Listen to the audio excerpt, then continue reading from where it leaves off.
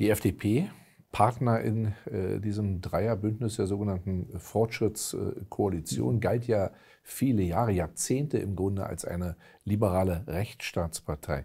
Was bedeuten sozusagen Demokratiefördergesetz und dieser 13-Punkte-Plan von Frau Faeser eigentlich für unsere liberale Demokratie? Die liberale Demokratie wird mir über diese Gesetze weitgehend ausgehebelt. Das ist die Konsequenz. Und mich persönlich wundert, dass die FDP, die Sie eben ja mit Recht als eine eigentlich traditionelle Freiheitspartei apostrophiert haben, dass die FDP das alles in der Ampelkoalition mitmacht.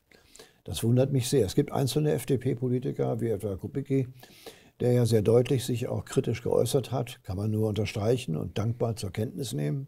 Aber offenkundig der Wille, in dieser Ampelkoalition drin zu bleiben, man könnte auch sagen, die Ministerposten zu behalten, ist offenkundig stärker. Das ist in Wahrheit nicht demokratisches Bewusstsein, das ist schlicht und ergreifend politischer Opportunismus.